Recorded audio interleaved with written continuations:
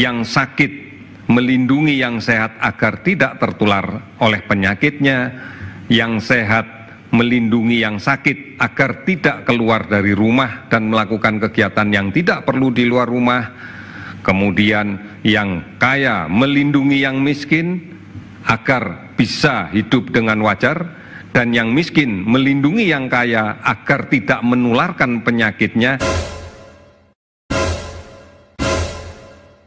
Dan yang miskin melindungi yang kaya agar tidak menularkan penyakitnya. Dan yang miskin melindungi yang kaya agar tidak menularkan penyakitnya agar tidak menularkan penyakitnya. Penyakitnya penyakitnya penyakitnya penyakitnya. Ini menjadi kerjasama yang penting